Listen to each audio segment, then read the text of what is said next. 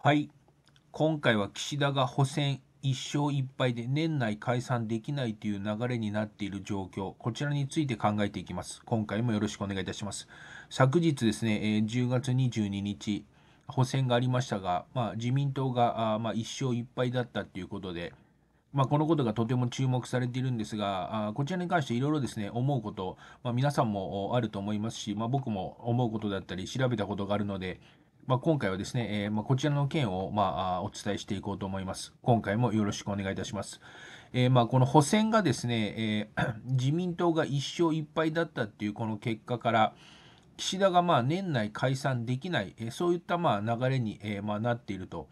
まあ、しようと思えばできなくないのかもしれませんが、まあ、解散しないだろうと。で僕たちはですね、まあ、僕もリスナー様も思っていらっしゃると思いますが、一刻も早い岸田の退陣を願うんですね。ただ、あの自民党政権である以上は、えー、ね、岸田が変わっても、次にまた出てくる人間も同じことを言う可能性があるので、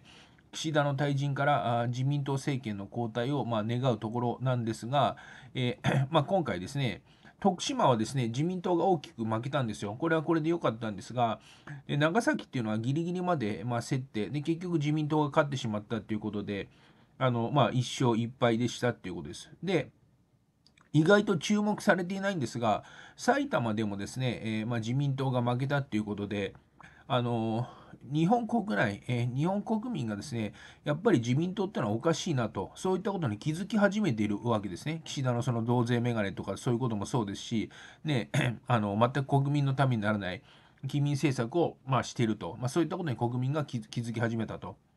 で、えー、この長崎についてのまあ問題っていうのがあるんですが、今回の補選でですね、圧倒的な投票率の低さっていうことが、これ分かっているわけですよ、長崎の補選ね。うん、で、なんでこんなに厳しくなってんのに、長崎の人は選挙に行かないのかって、えー、もう選挙に行かなければ、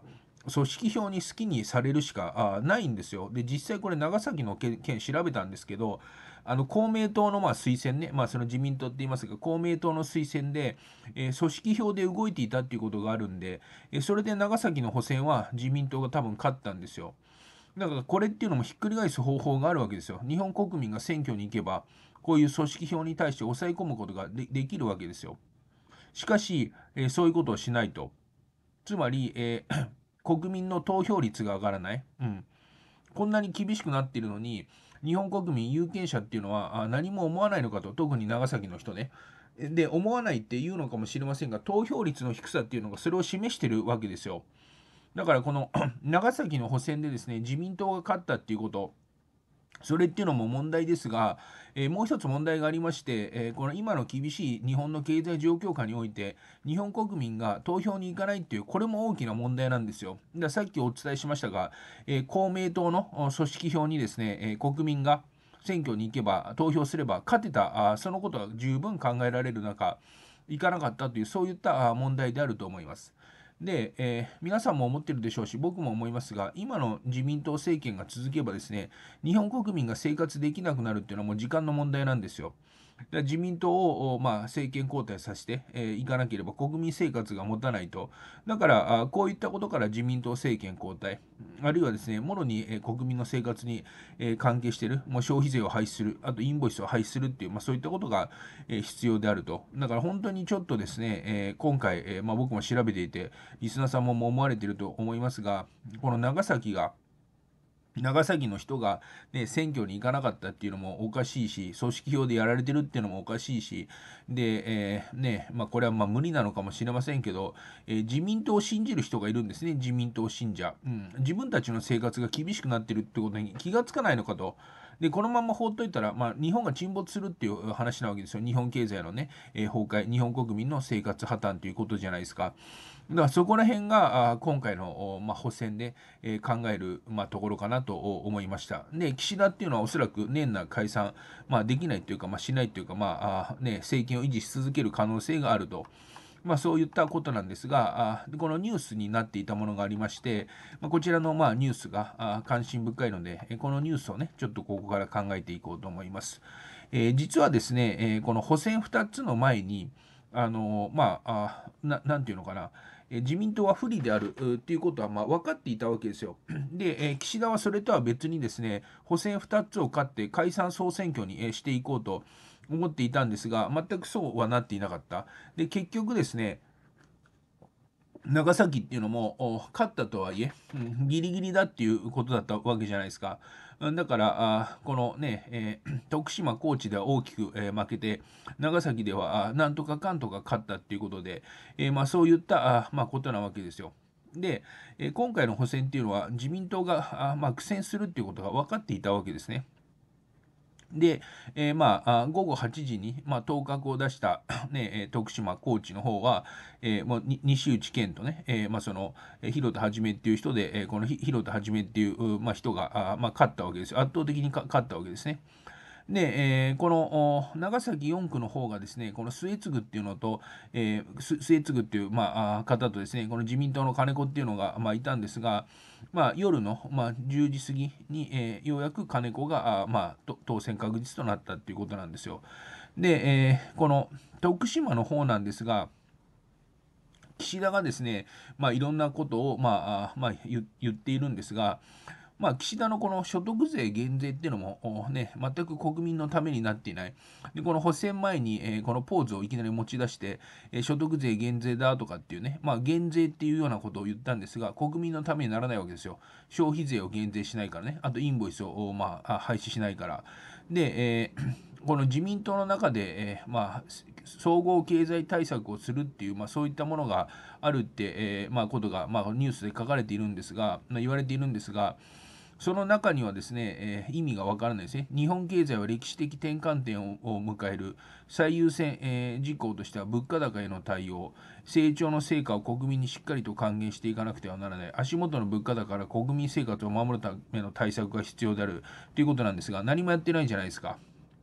物価高への対策っていうことであるならば、消費税廃止が一番なんですが、それをやらないわけですよね。えー、法人税を減税して、え所得税はどうしようかなとかって、ほえー、ね、消費税を、えー、まあ、減税しないっていう、えわけですよ。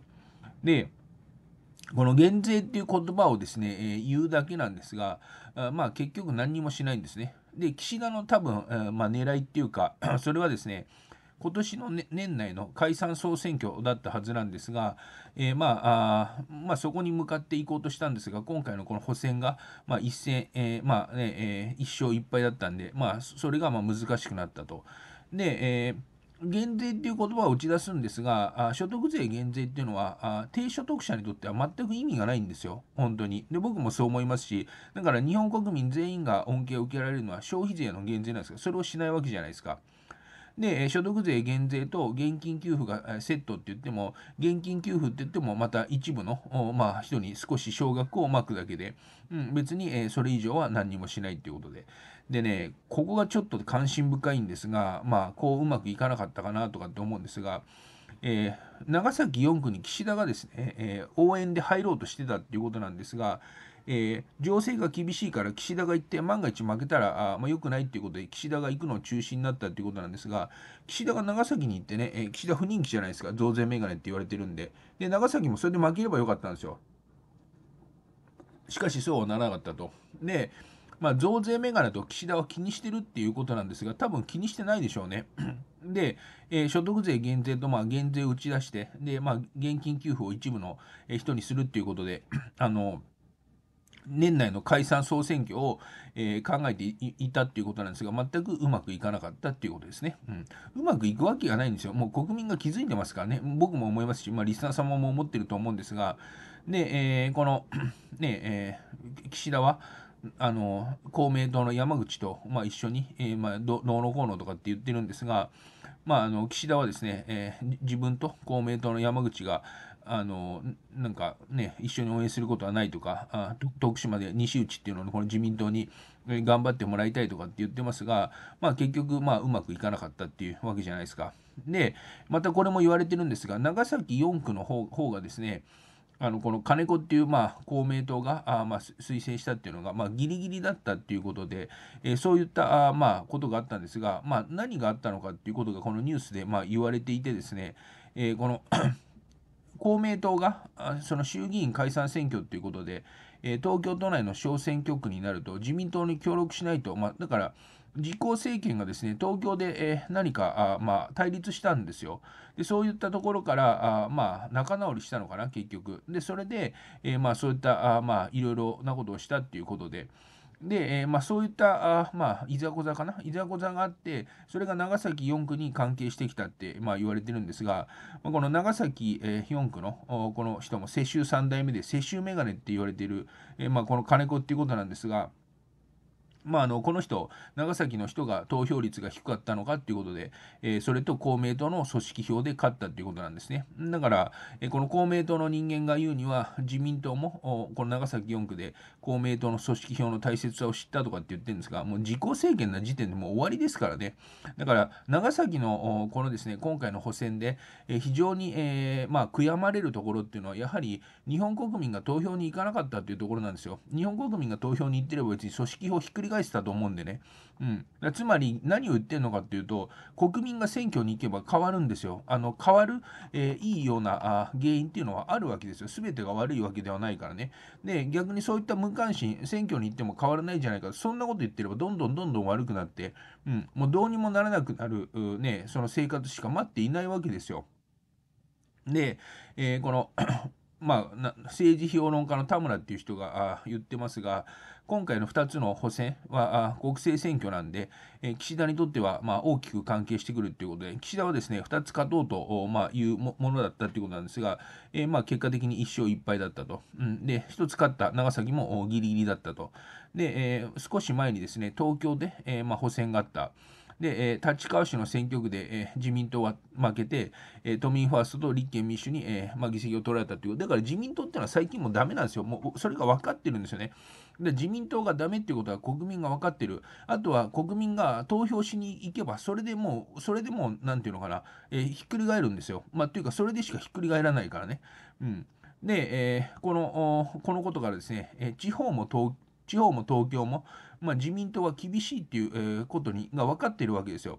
で岸田は解散・総選挙は春から夏に、えー、っていうことが、まあ、思っていたかもしれないんですが、内閣改造に失敗した、でそのねえー、まあ、その経済対策っていうのも全くでたらめ、で減税っていうのも全く国民のためになってない、でえー、年内は解散できない、で解散・総選挙はあ年が明けてしばらくしないとないって言われてるんですが、まあ、あの岸田がですね政権を維持し続ける限りまた何を言うかわからないんですよね。まあ、財務省とか、まあ、経団連とか、まあ、経済同友会の言われるがままおそらく増税を言ってくると思うんでで今回のこの件ですね補選、えー、1勝1敗ということで岸田は年内解散、まあ、できないあるいは年年内解散しないということが分かっているんでえここからですね岸田が増税に向かって舵を切る切ることが十分考えるんで。あの国民はそれに気をつけないといけない。だ岸田がですね、またその減税とか、何か国民の支持を得るために、えそのね、えー、まあ、ポーズを取ってくる。ポーズですから、あくまで。ポーズを取ってくるんで、それに、え、踊らされてはいけないということです。あと、このほ本当ね、えー、まあ何度も言って申し訳ないんですが、本当、今回のこの長崎4区で思ったんですが、本当に選挙に行って、えー、ね、国民が民意を示さないと、本当にもう日本崩壊ですよ。で逆を逆を言うと、今回の長崎4区で、えー、国民がですね、選挙に行って投票に行ってれば多分変わってたと思うんですよ。で本当にそういうあの懸念する今状況に、えおると思いますから、まあ、僕はあ思ってることっていうのはありましてね、え消費税の廃止あるいはインボイスの廃止これっていうのは国民のためですからで、え、社会保険料の、まあ、減免とかそういったことも国民のためなわけですよ。で、それをまあしてるのは、令和の山本太郎さんだと思います。で、他にもそういった政党があるかもしれないので、例えば自民、公明、維新以外のそういった、ね、政党に国民がもう投票に行かなければ、いよいよもって本当に日本崩壊っていう、まあ、そういった今流れに来てると思いますので、えー、まあ今回はこちらの件をお話しさせていただきました。岸田がですね、補選で、えー、1勝1敗で年内解散できない、そういった今流れになっておりますが、うん、あの、岸田がまた何かその増税の話を、えー、まあ、テーブルに上げてくるかもしれないんで気をつけないといけないですし何よりねもう国民が選挙に行って自民公明維新にノーを突きつけないと本当に、え、厳しい状況であると、えー、まあ、そのように思います。ということで、え今回はここで終わります。最後まで聞いていただきましてありがとうございました。失礼いたします。